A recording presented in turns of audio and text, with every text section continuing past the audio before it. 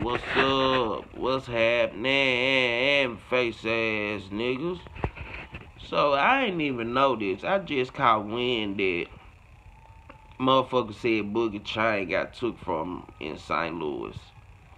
Now y'all know we fuck with Big Boogie on this channel. You know what I mean? I went back, I saw the video of him laughing like a motherfucker. Like, man, what is it with the entertainment business and Big Boogie. Like, bruh, that might have made headlines so many times for bullshit.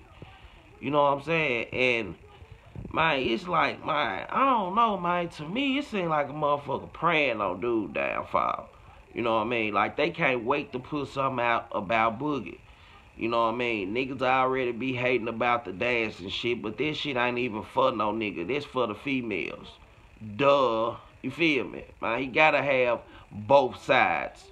You know what I mean? Like, who don't want the females at they show? I don't need all you niggas up in here. Y'all ain't gonna do nothing but get drunk, get high, and fight.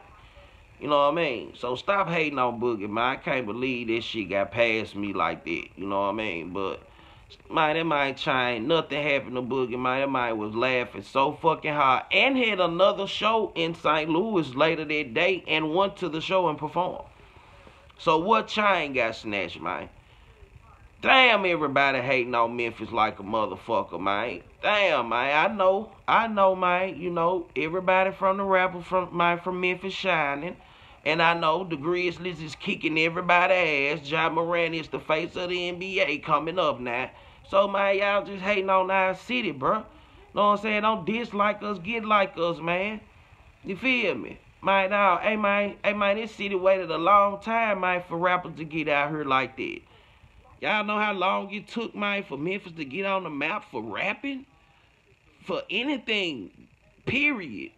Come on, man. We fought for this shit. Blood, sweat, and tears.